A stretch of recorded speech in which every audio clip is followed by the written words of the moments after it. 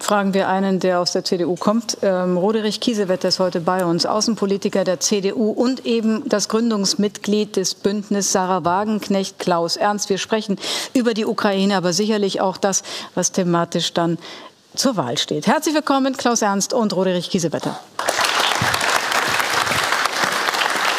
Guten Abend. Hallo. Herr Kiesewetter, Sie haben wenn wir mit der Ukraine, und das ist das dringendste Thema heute, ähm, anfangen, Sie haben gesagt, ganz am Anfang des Krieges und immer wiederholt, diese, äh, dieser Krieg muss von der Ukraine gewonnen werden. Jetzt sind wir kurz vor dem zweiten Jahrestag. Es ist schwierig, um es mal vorsichtig auszudrücken, glauben Sie immer noch, dass die Ukraine diesen Krieg gewinnen wird?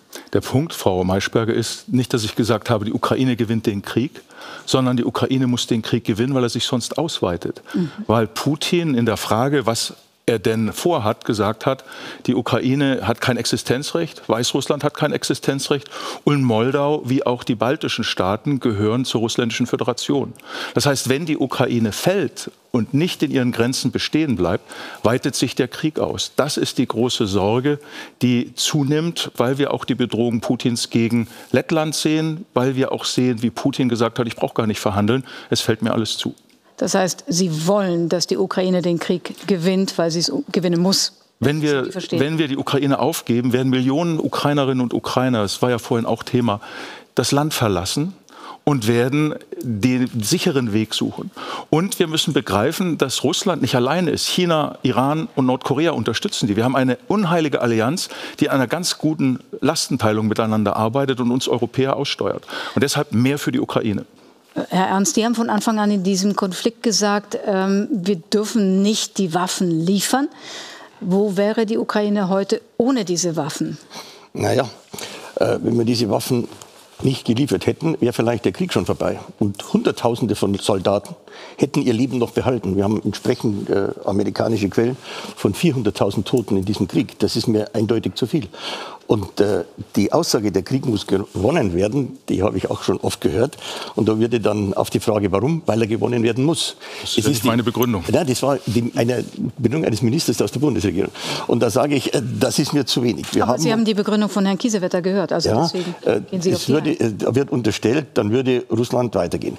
Es ist ja nun bekannt geworden aus den Verhandlungen, die bereits am Anfang des Krieges stattgefunden haben, was die russische Position war. Das hat der äh, Fraktionsvorsitzende der Partei, der der äh, Präsident der Ukraine angehört, äh, gesagt. Er hat gesagt, die Russen wollten eigentlich, dass wir neutral sind, dass wir nicht in die NATO gehen.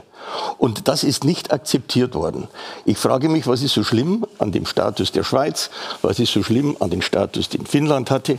Wenn der Westen auf diese Debatte eingegangen wäre, hätte der Krieg überhaupt nicht stattgefunden. Aber er hat, Entschuldigung, er hat ja, stattgefunden. Jetzt stattgefunden. findet er seit zwei Jahren statt. Mhm. Wären Sie jetzt dafür, dass man die Waffenlieferungen sofort einstellt, um ihn ja, zu irgendeiner Art von Lösung zu bringen? Ja, ich wäre dafür, dass man tatsächlich die Waffenlieferungen einstellt mhm. und dass man tatsächlich jetzt endlich beginnt zu verhandeln. Und äh, ich weiß nicht, Herr Kujat war ja mal Ihr oberster Vorgesetzter. Sie war ja Soldat. Herr Kujat war der oberste Militär, der oberste äh, Befehlshaber der Bundeswehr. Und er hat vor kurzem in einem Interview äh, erklärt, äh, dass dieser Krieg aus seiner Sicht nicht gewonnen werden kann dass es vollkommen absurd ist, deshalb weiter Waffen zu liefern und dem würde ich mich anschließen.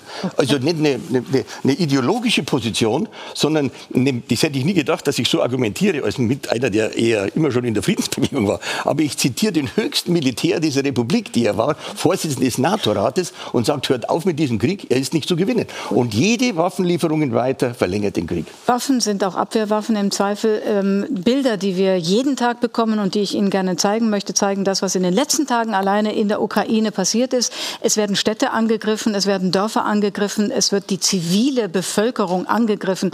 Wenn keine Waffen geliefert werden, Herr Kiesewetter, ist dann auch die Luftabwehr davon betroffen? Ich bin entsetzt über das ziemlich empathielose Bewerten des russischen Vorgehens. Es geht darum, dass 14 Millionen Menschen innerhalb und außerhalb der Ukraine auf der Flucht sind, dass Russland sich rühmt, 700.000 Kinder entführt zu haben. Die Ukrainer sprechen von 20.000, wo sie nicht wissen, wo sie sind. Es geht darum, dass jeden Tag furchtbare Ängste sind. Ich war jetzt während des Krieges fünfmal vor Ort, bin in wenigen Wochen wieder da. Ich sage, die Russen nutzen ungeheuer aus, dass der Westen sich nicht einig ist in der Unterstützung. Und sie bekämpfen ja kaum das ukrainische Militär. Sie zerstören, wie sie sehr anschaulich zeigen, Krankenhäuser, Wohnanlagen. Sie zerstören Elektrizitätswerke. Sie setzen auf Flucht. Sie setzen auf Vertreibung. Wir haben dieses Jahr Europawahlen. Die wollen, dass Millionen von Menschen dieses Land verlassen. Und deswegen ist, nein, Herr Ernst weiß das ja. Und wir haben uns auch nicht gegenseitig zu überzeugen. Der entscheidende Punkt doch, aus doch. meiner Sicht Versuchen ist, nein, der, Sie wissen selbst, das Entscheidende aus meiner Sicht ist, dass wir begreifen, dass Russland gar nicht verhandeln wollte. Als Russland vor Kriegsbeginn im Januar gefragt wurde, was denn ihr Ziel sei, dann sagten sie Abzug der Amerikaner aus Europa, einschließlich der Nuklearwaffen, Austritt aller früheren Warschauer Paktstaaten aus der NATO und Austritt aller früheren Sowjetrepubliken, das war auf die drei baltischen Staaten gemünzt, aus NATO und EU. Das heißt eine Umkehrung der Friedensordnung, die wir seit 1990 haben. Putin hatte nie etwas gegen die NATO-Erweiterung und das erwähnt er ja auch gar nicht im Krieg gegen die Ukraine. Er sagt, die Ukraine muss entnazifiziert und demilitarisiert werden, aber er bekämpft die Zivilbevölkerung. Und es war Prigozhin, den er dann umgebracht hat, der gesagt hat, wir sind einmarschiert in die Ukraine und wir haben gar keine Nazis vorgefunden. Wir haben unsere Armee ruiniert. Das war Prigozhin. Dafür ist er gestorben. So, Herr Ernst, Sie sehen die zivile Zerstörung. Ja, das ist Folge des Kriegs und deshalb muss er beendet werden. Weniger Wer Krieg, weniger Krieg heißt weniger Zerstörung, weniger Leid. Übrigens ist es ja nicht so, dass die Ukrainer da alle mit Hurra-Patriotismus bei der Sache sind. Wer, wer wir haben, Entschuldigung, wir haben 200.000 mhm.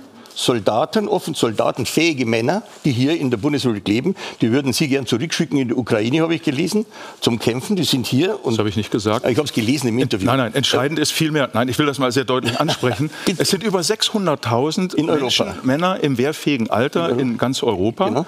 denen wir keine Angebote machen, dass sie im Heimatschutz, im Zivilschutz, im Katastrophenschutz arbeiten. Natürlich können sie auch, wenn sie es wollen, an die Front. Aber viel wichtiger ist, was gerade in der Ukraine passiert. Sind weggelaufen. Nein, die sind doch, es sind, sind doch weg es sind Soldaten. Die wollen nicht mehr kämpfen, darum sind ja. sie nicht mehr da. Klar. So, sie haben aber Sie dürfen das. In Russland werden Sie erschossen. Sie, ja, und in der Ukraine werden Sie, wir reden über die Ukraine also, verlassen. Wir Nein, wir reden über, wir reden über Russland. Wir reden doch über die These. Moment, bleiben wir, wir doch mal bei einem Wir reden über die These, dass die alle kämpfen wollen. Und wenn 200.000 offensichtlich nicht mehr kämpfen wollen, die hier in der Bundesrepublik sind, die Leute sind kriegsmüde. Allein schon dieser Begriff. Die haben keine Lust mehr auf diesen Krieg. Die, die, die Leute werden dort von Vans auf der Straße gekrallt, um an die Front geschickt zu werden. Die wollen doch nicht hin. Die Menschen wollen Frieden. Und Frieden kriegen wir dadurch, dass wir jetzt Folgendes mal zur Kenntnis nehmen. Wir haben ein Jahr. Sie haben Stopp, das, Argument müssen Sie bitte ja. übergeben. Also, dass die Menschen nicht kämpfen wollen. Ja. Bitte. Ja, die wollen nicht kämpfen. Die Ukra das Sonst wären die ja nicht hier. Die, die Ukraine hat über 800.000 Soldaten im Einsatz. Wie viel verloren? Haben, Wie viel verloren? Die, die Russen haben anderthalb Millionen im Einsatz und eine halbe Million verloren. Die Russen nehmen überhaupt keine Rücksicht auf ihre Soldaten. Sie haben Gefängnisse geleert. Wie viele von den Ukrainern sind schon gestorben? Und wie viele werden sind, weiter sterben? Es sind über, die Ukrainer verteidigen ihr Land. Sie leben für ihr Land und sie setzen ihr Leben dafür ein.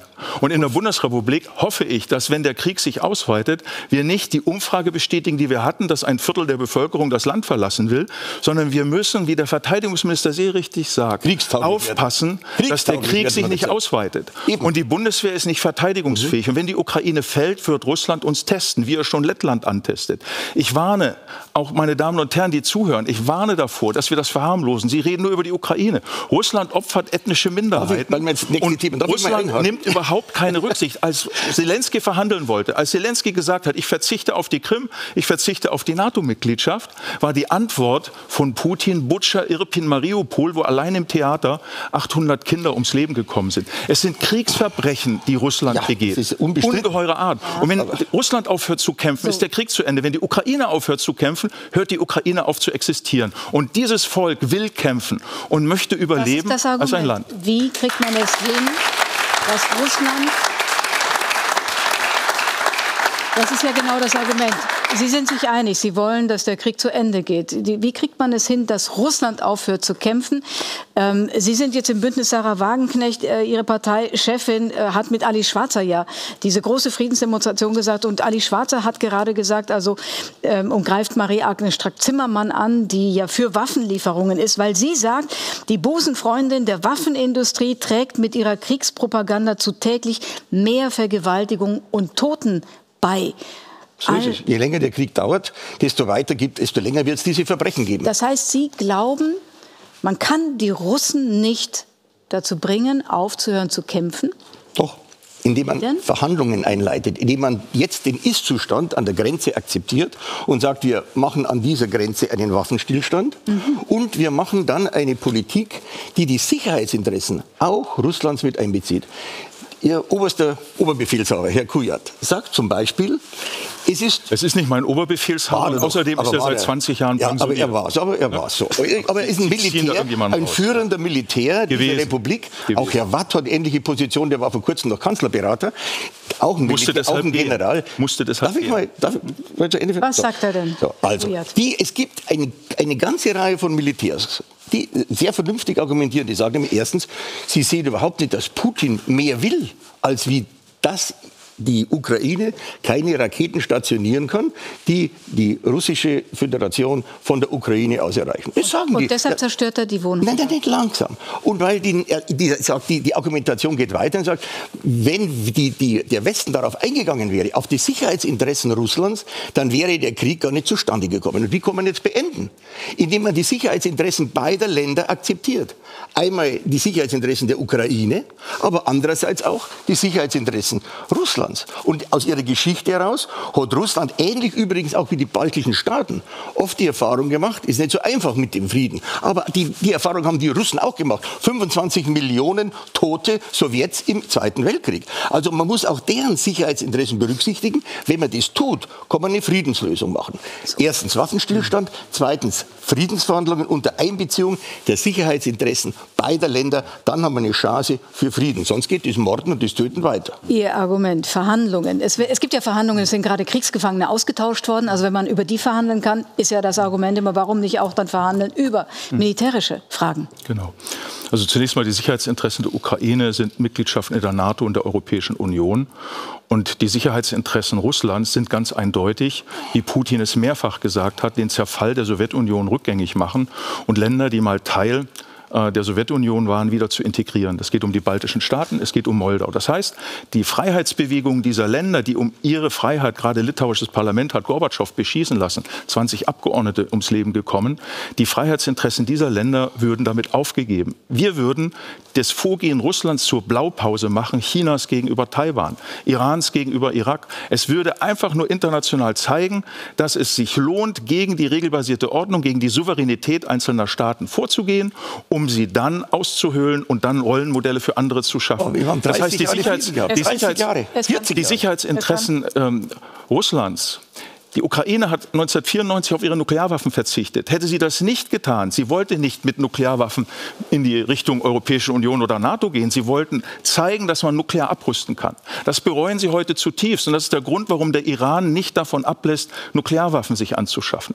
Deswegen glaube ich, ist das ganz entscheidend, dass wir deutlich machen, wenn Putin nicht verhandeln will. Er hat es mehrfach gesagt. Narischkin hat gesagt, sein Chefverhandler, wir haben die Zeit, Sie brauchen nicht den Kopf schütteln, wir haben die Zeit Der will verhandeln. und eure Uhr läuft ab. Dauernd. Und Putin sagt, er braucht die gesamte Ukraine und er möchte auch Weißrussland haben und dann geht es weiter. Das waren ja die Bedingungen, die er gestellt hat. Und dann kam der Krieg. Und Zelensky war ja bereit, auf die Krim zu verzichten. Und dann war die russische Antwort Butscha, Irpin, Mariupol, Kriegsverbrechen. Ernst, das dürfen wir nicht verharmlosen. Sie waren, Sie das ist herzlos. So, Sie, waren, Sie waren hier in der russischen Botschaft im letzten letzten ja, Jahr. Darf ich auf das Argument noch mal Ich möchte eine, eine, zusätzliche Frage, damit wir uns nicht im Kreise drehen. Ja, wir drehen Sie uns waren, aber nicht im Kreise. Ich kann ja die Argumente nicht beantworten. Darf ich Ihnen ja. trotzdem eine weil das geht auf dieselbe, auf dieselbe Richtung. Sie waren da in der russischen Botschaft ja. zur Siegesfeier der Russen über die Deutschen, also der Sowjetunion ja. über die Deutschen im Zweiten Weltkrieg. Ich wollte Sie fragen, haben Sie da Anzeichen gesehen, gehört, dass man eben bei diesen Verhandlungen, über die Sie ja reden, dass man da mehr möchte als das, was äh, äh, Herr Kiesewetter sagt. Also meine Informationen, die ich jetzt hier zum Teil verbreite, sind Informationen, die können Sie im Internet nachlesen, von dem General Kujat, von Herrn Nein, nein, nein, nein. Haben nein, Sie, nein, haben Sie doch alte in der Botschaft selber, in der Botschaft selber wurde darüber nicht geredet. In der Botschaft selber wurde darüber jetzt nicht geredet. Deswegen kann ich dazu nichts sagen. Haben Aber ich kann, zu dem, ich kann zu der Aussage was sagen von Herrn Kiesewetter, der ja daran behauptet, dann geht der Russe weiter und irgendwann steht er vor dem Brandenburger Tor. Das ist ja so die These, die dahinter steht. Das habe ich nicht gesagt. Nee, aber dann, wenn wir da nicht siegen, dann kommt er zu uns, weil er ja dann einmal gewonnen hat.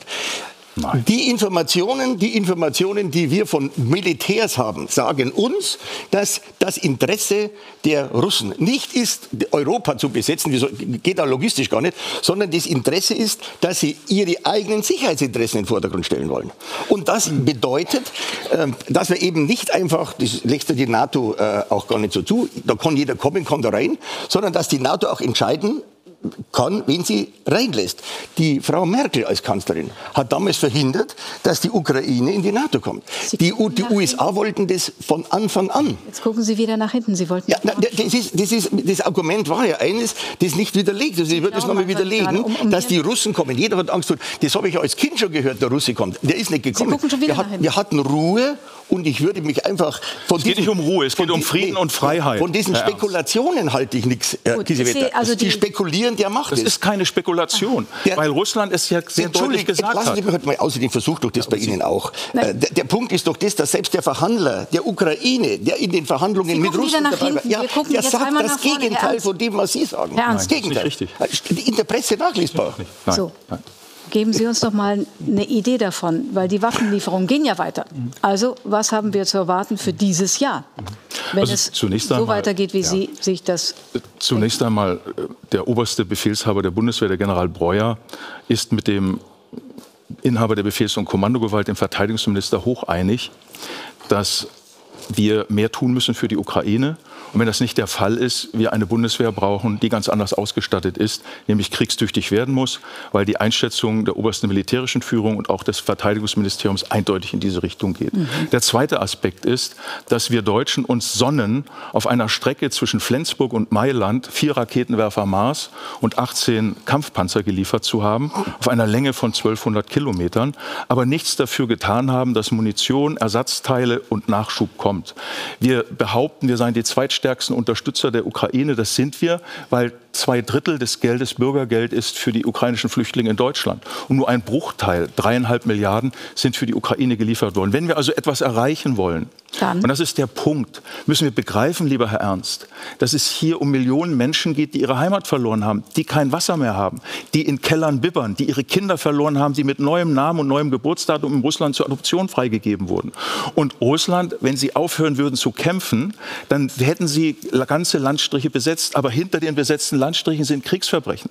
Deswegen muss die Antwort lauten, mehr und vor Dingen nicht, solange es nötig ist. Wenn die Ukraine zerfällt, ist es nicht mehr nötig. Da liegt der Kanzler falsch und Pistorius richtig und Baerbock, sondern zu sagen, wir müssen die Ukraine unterstützen, so schnell wie möglich, mit so viel wie möglich. Wir müssen unsere Bevölkerung aufrütteln, dass sich sonst der Krieg ausweitet. Sie haben eine neue Partei jetzt gegründet, nachdem Sie eben bei der SPD und bei den Linken waren, Bündnis Sarah Wagenknecht. Mit wem sehen Sie sich denn in einer Meinung gegen die Politik, die die CDU verteidigt, die SPD verteidigt, die Grünen und die FDP? Und 50 Prozent der Bürger, die sagen, wir müssten mehr, wir müssten mehr verhandeln und weniger Krieg führen. Und im so. politischen Spektrum? Das wird sich zeigen, das ist ja in Bewegung. Aber ich nochmal, jetzt will ja Herr, Herr Giesewetter Taurus liefern, wenn ich das Thema ansprechen darf. Wissen Sie, was Herr Biden zu dieser Frage der Lieferung von Taurus gesagt hat? Das Parallelsystem der USA liefert ja die USA nicht. Sie wollen es trotzdem liefern. Herr Biden sagt dazu, er will keinen dritten Weltkrieg riskieren. Das sagt Die Amerikaner liefern Raketen mit Reichweiten von 300 Kilometern. Das, das praktische also, System, das mit Taurus vergleichbar ist, liefert also, Amerika nicht. Ich sehe, wenn, wenn Frau Wagenknecht im Bundestag sprach, hat sie kaum Beifall von der Frage. Linken bekommen, sondern von der AfD. Eine Und ich Frage. sehe hier bizarre Sichtweisen, die sehr nah an Russland sind. Eine Frage, die auch das der Wähler am Ende entscheiden wird in den vielen genau. Wahlen in ja. diesem Jahr, am Ende dieser Sendung. Kein Konsens zwischen Ihnen. Danke Nein. trotzdem fürs Kommen. Vielen Kein Dank. Konsens. Kein Konsens. Vielen Dank, Herr Kiesewetter. Vielen Dank, Herr Ernst.